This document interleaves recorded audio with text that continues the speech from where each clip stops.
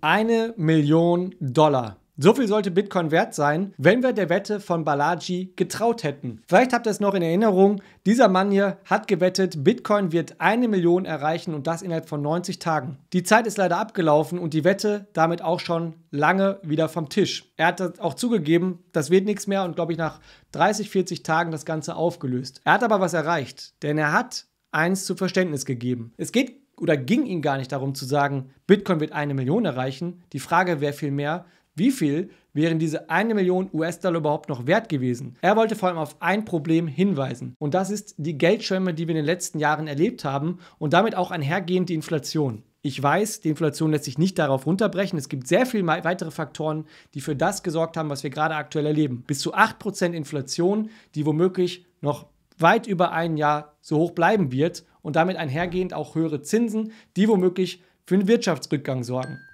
Ist leider die harte Realität und so funktioniert die Geldwirtschaft. Aber Balaji wollte uns klar machen, es gibt eine Alternative und es gibt eine Möglichkeit, vielleicht auch das Geldsystem anders zu denken. Er wollte also wachrütteln. Das Ganze hat ihn 1,5 Millionen gekostet, denn 500.000 gab es für den Gewinner der Wette, 500.000 für einen guten Zweck und 500.000 nochmal für einen anderen guten Zweck. Ich würde sagen, am Ende sind wir alle Gewinner, denn wir wurden auch darüber aufgeklärt und nochmal auch andere. Es geht nicht darum, was dort für ein Price Tag steht, für einen Preis sondern was ist das eigentlich tatsächlich wert? Und jetzt fragt euch mal, was ist euch euer Bitcoin-Investment wert? Warum seid ihr investiert? Und was wollt ihr eigentlich damit erreichen? Ich, mehr Kaufkraft und im Falle einer Inflation bei einem Bitcoin-Kurs von einer Million wäre es vielleicht eben auch gar nicht mehr die Million, die es heute ist. Stellt euch diese Frage mal selbst, schreibt mir gerne in die Kommentare eure Gedanken und dann würde ich sagen, bis zur nächsten Millionenwette, denn es war nicht die erste und es war mit Sicherheit nicht die letzte.